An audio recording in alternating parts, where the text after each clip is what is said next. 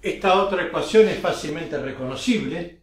¿Por qué? Porque tengo x cuadrado y cuadrado con el mismo coeficiente, 1, y los dos positivos. O sea que yo podría decir que sí o sí esto es una circunferencia.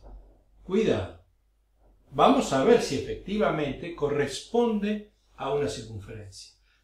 No, pero siempre que tengo x cuadrado más y cuadrado, eso va a terminar siendo una circunferencia. No, no estén tan seguros. Si ustedes buscan un programa graficador en la web, le ponen una ecuación y les dibujan la circunferencia, estamos de acuerdo.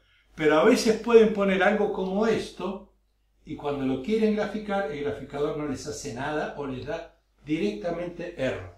¿Por qué? Bueno, ya lo vamos a ver en uno de los ejercicios que hay, en uno de los ítems de este ejercicio.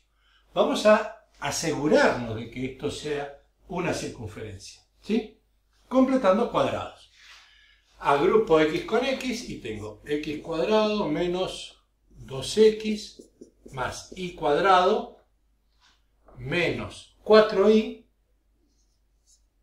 4y menos 20 igual a 0. Voy a buscar de armar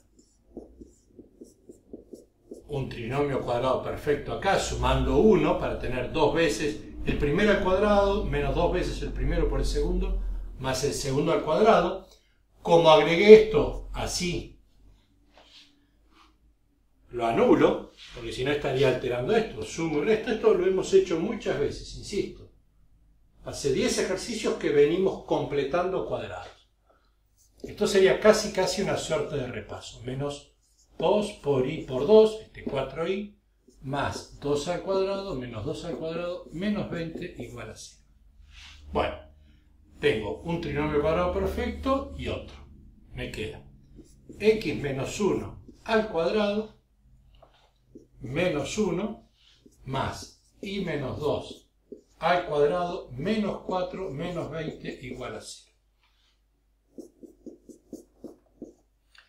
Estos términos que no tienen ni x ni y, los agrupo y los paso al otro lado y me queda 25. Y una vuelta de rosca más y listo. Esto es la ecuación de una circunferencia con centro en HK, en el punto HK, y radio 5. Esa es la forma canónica. ¿sí?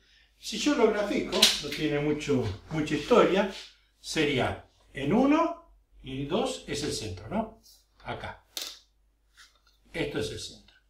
5 unidades para acá tengo un punto, 5 unidades para arriba tengo otro, otro punto y otro.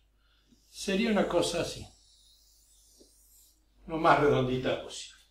No hay mucho para elegir. Los elementos de esa circunferencia son el centro de coordenadas HK, que es 1 y 2, y el radio 5.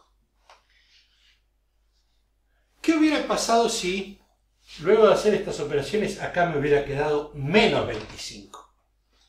Tenía toda la forma de una circunferencia, pero no hay ninguna circunferencia que tenga un radio tal que elevado al cuadrado me dé menos 25 o un número negativo.